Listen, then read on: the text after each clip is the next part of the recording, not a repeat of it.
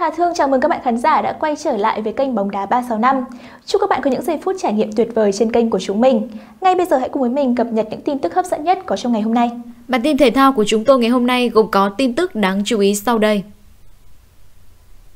Trưởng ban kỷ luật VFF bất ngờ nói về VA và cảnh báo cầu thủ Việt Nam, huấn luyện viên Park nói điều bất ngờ. Các câu lạc bộ mà không rèn cứ để cầu thủ mắc lỗi này thành thói quen. Khi thi đấu quốc tế, trọng tài có bỏ qua va thì va cũng không bỏ qua cho đâu. Vòng loại thứ ba World Cup 2022 đã thấy rõ điều đó. Trưởng ban kỷ luật Liên đoàn bóng đá Việt Nam VFF Vũ Xuân Thành phát biểu tại hội nghị tổng kết các giải bóng đá chuyên nghiệp Việt Nam được công ty cổ phần bóng đá Việt Nam VPF tổ chức trực tuyến ngày 15 tháng 10. Trong đó đề cập vấn đề thời sự của bóng đá Việt Nam liên quan đến VA. Trong trận đấu gặp đội chủ nhà Oman vòng loại 3 World Cup 2022 ngày 12 tháng 10 vừa qua, tuyển Việt Nam hai lần chịu hai quả phạt đền sau khi trọng tài chính cho rằng cầu thủ Việt Nam phạm lỗi trong vòng cấm. Tình huống thứ nhất khi ngăn cản một tình huống tấn công của đối phương, tấn tài giơ tay chạm vào mặt cầu thủ đội bạn. Đội Oman được hưởng phạt đền nhưng đã đá hỏng. Ở tình huống khác, Duy Mạnh để tay chạm mặt cầu thủ đội Oman. Sau khi tham khảo va, trọng tài người Jordani cho đội Oman được hưởng phạt đền. Trong trận gặp đội Ả Rập Xê Út, Duy Mạnh dù không cố tình nhưng khi cản phá cú sút của đội bạn trong vòng cấm đã để bóng chạm tay.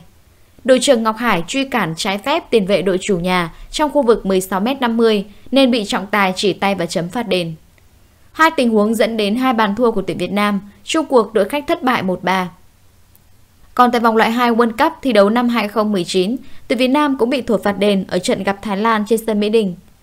Năm 2010, trận đội Malaysia và sau đó gặp UAE. Từ Việt Nam lần lượt bị hai quả phạt đền do lỗi của Văn Hậu và Tấn Trường. Ông Park phát biểu rằng rất khó trả lời chính xác tại sao chúng ta hay bị phạt đền. Có lẽ do thói quen về phòng ngự từ thời mà các cầu thủ còn nhỏ. Ngoài thói quen thì còn có lý do nữa, từ Việt Nam bị đối thủ tạo áp lực lớn. Khi bị đè nén như vậy, các cầu thủ sẽ phản ứng lại. Khi thực hiện hành động phòng ngự trong bối cảnh bị gây sức ép, từ Việt Nam hạ thấp đội hình và dễ bị thổi phạt đền.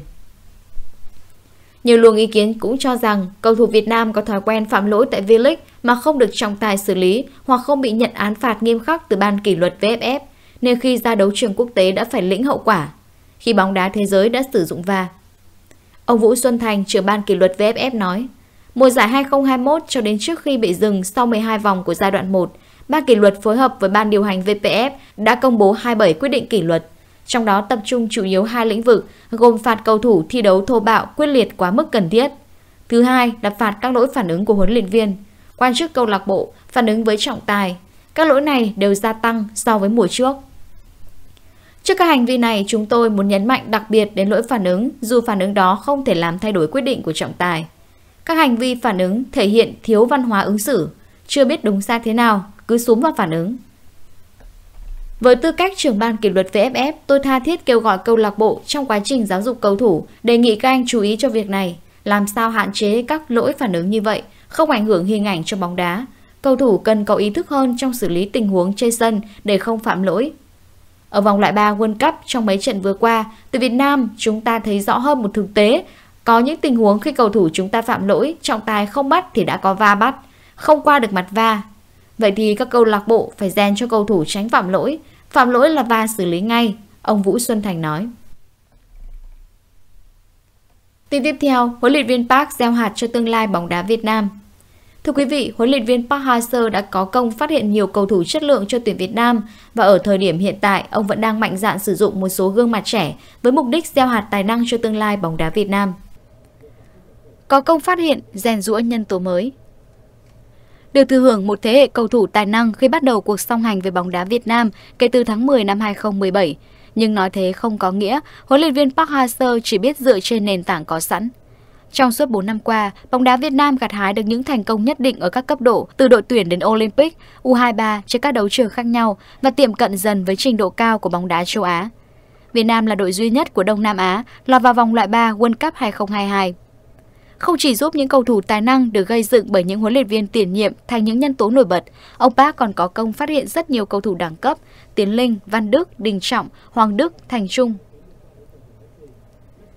Nhờ bàn tay dìu dắt của thầy Park, từ bóng tối, Văn Đức bước ra ánh sáng, có màn trình diễn rực rỡ tại giải U23 châu Á 2018.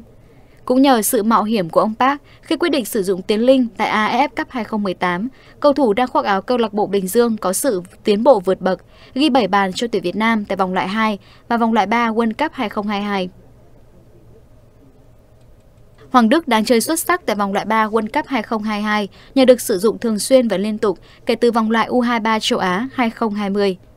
Cầu thủ của Viettel đã trưởng thành nhanh chóng và đang là trụ cột không thể thay thế của tuyển Việt Nam. Ông Park có bảo thủ Không sử dụng người mới một cách ồ ạt, nhưng khi ông chọn ai thì thường cầu thủ đó có những bước tiến nhanh để không ngờ. Mới đây ông Park bị nhận luồng ý kiến khá tiêu cực là bảo thủ trong cách dùng người.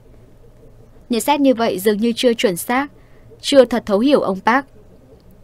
Không thể đòi hỏi một cách thái quá, một huấn luyện viên phải vừa đảm bảo thành tích, vừa liên tục đổi mới lực lượng. Ông Park tạo được sự bình ổn trong đội hình và cũng có một số quyết sách táo bạo với mục đích để bóng đá Việt Nam không bị hụt hẫng về mặt nhân sự ở những giải đấu lớn trong tương lai. Ở trận gặp Trung Quốc tại vòng loại 3 World Cup 2022, ông Park đã đưa cầu thủ trẻ Thanh Bình vào sân. Sai sót chuyên môn của Bình là điều đáng tiếc, nhưng chính sai sót đó sẽ là bài học sâu sắc và quý giá dành cho anh trong hành trình còn rất dài phía trước. Thanh Bình, người được thầy Park rèn rũa để có thể sau này thay Quế Ngọc Hải, đã có trải nghiệm sâu sắc và hẳn nhiên nếu tiếp thu một cách cầu thị, Bình sẽ trưởng thành.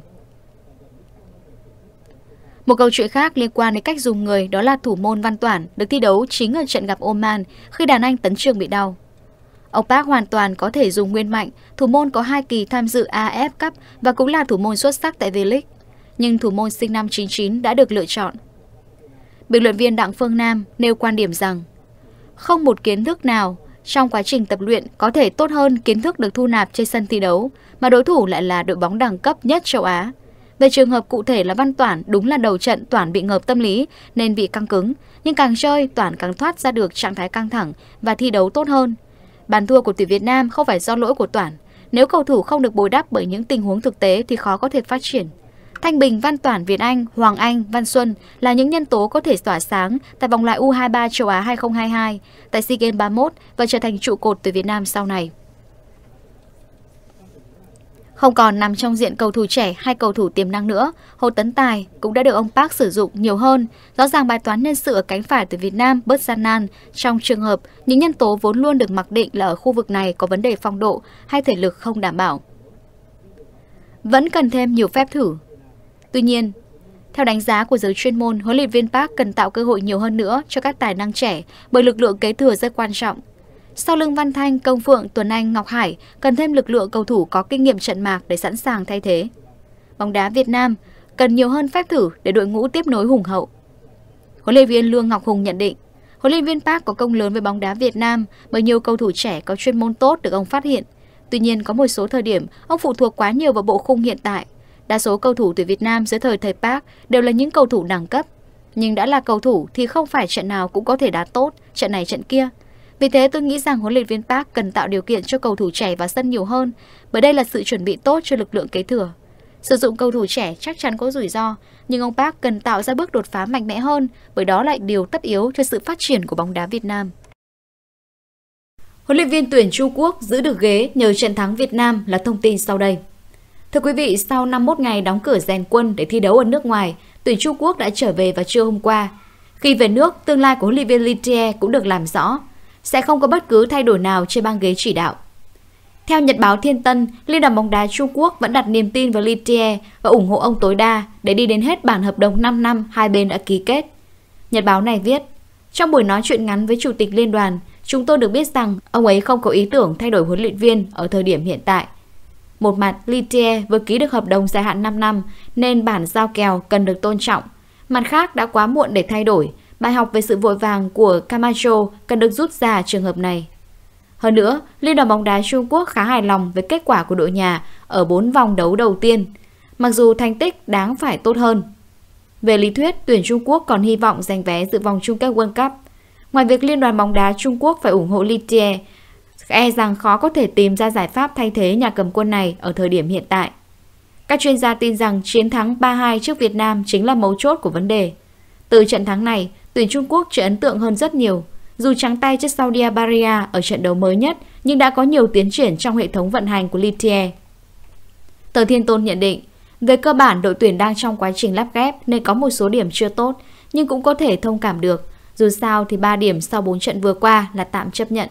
Khi trở về, ban huấn luyện đội sẽ có thời gian để phân loại các vấn đề, chẳng hạn như việc sử dụng cầu thủ nhập tịch, thu thập thông tin về đối thủ và phân tích đối thủ có chi tiết hay không, đồng thời tìm ra các biện pháp cải thiện. Trong bất cứ hoàn cảnh nào, họ cũng sẽ được lắng nghe, ngay cả Chen Suyan, chủ tịch Liên đoàn bóng đá Trung Quốc. Hiện tuyển Trung Quốc dục dịch chuẩn bị các trận đấu vào tháng 11 trên sân nhà khi gặp Oman và Australia. Cảm ơn các bạn đã quan tâm theo dõi video của kênh Bóng đá 365.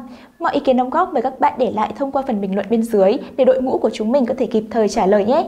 Đừng quên nhấn đăng ký kênh, bật chuông thông báo để không bỏ lỡ bất kỳ một tin tức hấp dẫn nào đến từ kênh Bóng đá 365 nhé.